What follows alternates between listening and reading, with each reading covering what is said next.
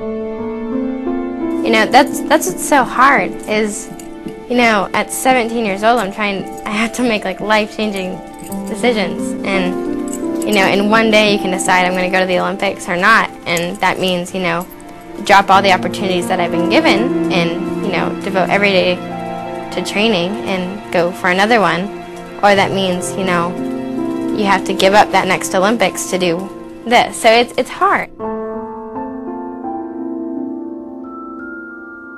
If I went back, it wouldn't be to get, you know, another gold medal. It'd be to get back into that same place and to prove to everybody that I can do it again.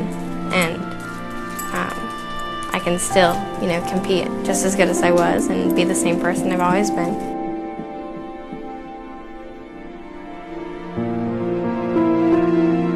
I'm torn.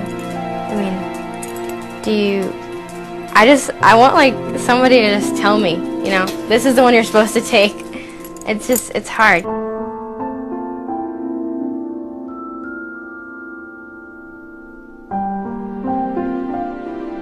I don't know. It's a decision that's been haunting me ever since the day I finished the last Olympics, just because it's such, it's such a commitment and it's so hard, but it was the experience of a lifetime and you know, I'd give anything to go back again, but it's it's hard.